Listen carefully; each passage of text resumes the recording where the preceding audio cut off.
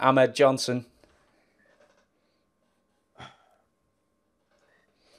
Um, again, I I never had any problems with Ahmed, but but it didn't take long to to figure out Ahmed felt he was due a bigger spot than he got. Uh, but he didn't understand. It's about attitude and about coming in and earning stripes and getting the guys you want to work with to want to work with you. And you have to do it without being over the over the top and an asshole right off the bat. You can't do that.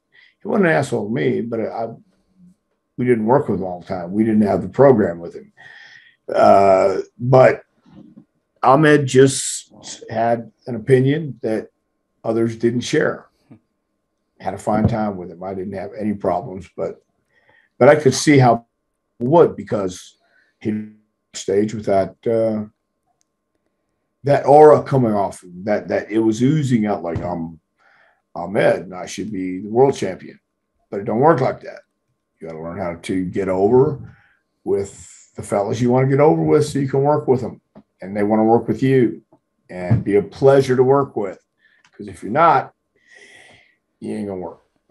And and learn how to not kill people in the ring as well. Eh, that's my point. He went out there like he could do anything he wanted, didn't have to worry about consequences or anything like that. That's not the case, especially when you're calling shots, especially when the guys you want to work with are calling shots. Hmm. So, uh, what I, one thing I wrote in my uh, rock book is um, in a match with Ahmed Johnson, The Rock, uh, Ahmed Johnson just decided, uh, I'm doing the Michinoku driver uh, tonight.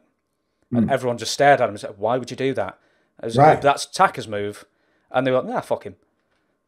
Right. You can't do that. You, I mean, you can, but that's the, but the end result was the end result. You can't see that's what I'm saying. You don't do that. Taka had been there longer.